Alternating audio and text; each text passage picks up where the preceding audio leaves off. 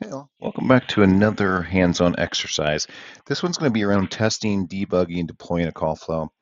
It's going to be pretty simple. There's not much here, but uh, one step you do need to take in order to make uh, make these tests. Obviously, you need a test number, an inbound number. That's out of the realm of this, of being able to, you know, actually buy a number from Genesys Cloud. If you guys are in a, in a company org already, then maybe you already have test numbers that you can apply. But I'm going to show you a, a real basic one real quick before we get started uh, to kind of show you uh, what all needs to be done. So it's pretty much the final step. You can do this anytime throughout the call flow. You don't have to do it at the end. You can do you can add the call routes before if you want um, but it's to add the call route. And this is really what is going to connect the call flows to the inbound numbers. So let's go ahead and get started here. So the call flow uh, or call route, you can you know, label it whatever you want, whether, you know, my, my first call route, for example, whatever division you're going to put it in, if you have some test divisions or whatever, maybe put it in there. You can also then route it to a call flow and you can kind of see that I have, you know, just three call flows here. There's my first call flow. Um, there is a number that I already have assigned to a different one, but you'd be searching for the number here, whether you do, you know, three one, my area code. Obviously, you can see that's already attached to another one, but you can go ahead and create. And so from here, then it would allow you to now make the phone call with the inbound number. You can kind of say I did that already here. This is going to my first call flow. Here's the test number I've got. Um, I did just DC inbound. That's our that's our names or company initials. DC inbound with uh, with home. So we're all ready to go. How we uh, how you can test or debug this is um, obviously we're in edit mode right now with our first call flow. You can hit that debug. Remember right from other hands-on exercises, I've kind of um, showed this box. But one thing you can do is once that debug gets enabled, it then shows you an address that you can highlight. You can copy here. You can come over to your dial pad and call it. I don't usually do it that way. What I usually do is I'll um, I'll use either my my phone or, or Google Voice, and I'll actually take this test number and I'll dial it from there and test all the different options. So you remember, you know, all the different options. For example, would be when you call into this main menu, there's sales, support, billing, uh, transferring to John Doe, and then after hours. So you, kind of think about it in a in a holistic point of view of I need to test every single function, and every single function is based off of the main menus, based off putting the um, putting the uh, schedule check in closed, emergency, and holiday, as well as open, and testing all those different scenarios. Now, what you're testing for is you're testing for um, just to make sure that the it's routing correctly. Like if something happens and it goes through and, and an error happens, troubleshooting that error uh, to where it's let's say instead of going to sales here it disconnects. You want to troubleshoot that path to see why it's doing that. Correct that before you hand that off to quality assurance team. Um, and before you hand that off for user acceptance testing because then that ticket's just going to come right back to you. You're going to have to then troubleshoot it again or troubleshoot it further to resolve it. So why not take care of it before handing this off to the team to qa so as we do that obviously one of the important things is validating making sure that everything is correct from a validation standpoint.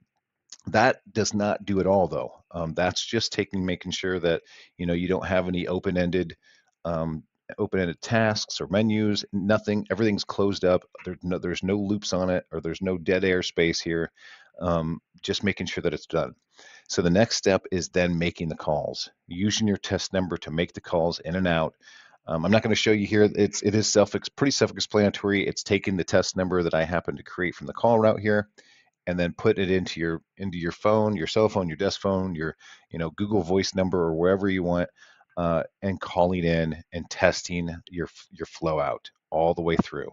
Um, that's testing data actions. That's testing everything, and so that's why there's really a, a really good concept of doing this, and it's a common module. So we don't get into common modules too much in this course. Uh, that's really for a down the line extended um, into another course of getting into the weeds more about common modules and, and bots and whatnot. But in this preference, there's a call log you can create for a common module. Um, I'll go ahead and put the code uh, to create the common module in there. That way you're able to do this. But what that does is that allows you to have several all different kinds of inputs, and that will be logged in the interaction. So when you go into uh, when you go into performance workspace and interactions, you'll have a view of the beginning step and then each path that it takes all the way to the, either the queue or the voicemail or whatnot. So that's one really good path of doing that. So like for this, for example, you can do this. And so it's common text add right. It's um, my first call flow begin.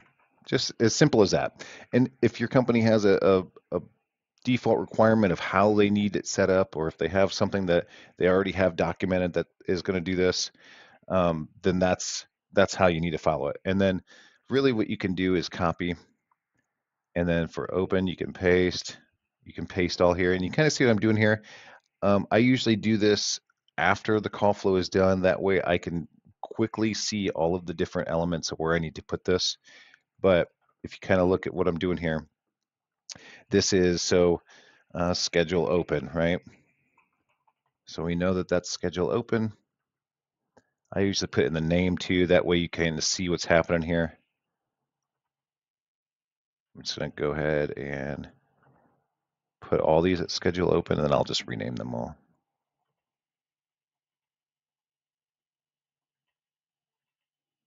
So emergency, um, emergency. So you can kind of see what I'm doing. It's not that difficult. Um, the I will attach, if it lets me, I will attach the um, the call flow for the common module to this thing so you can kind of take a look, you can run through it, all that good stuff. Um, holiday.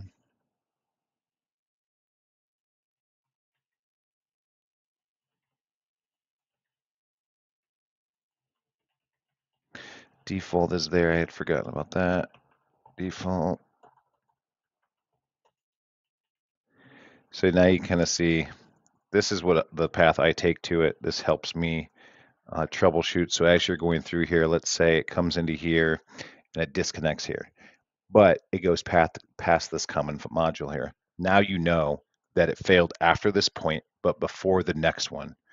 Um, and you, it just allows you to really focus where it failed uh, and help out. So that's really all for this course here is make sure you thoroughly test everything. That's the that's the main uh, the main thing to testing, to debugging, to deploying. Obviously, deploying they're already you know it's already ready to be deployed. You put a prod number in the call route uh, and it's ready to go.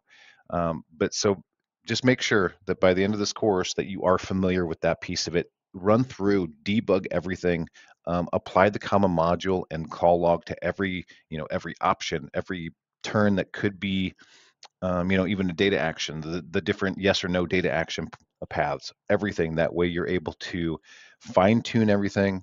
You're able to spot uh, an error if it occurs and quickly fix it. Uh, thanks for joining. See you on the next hands-on.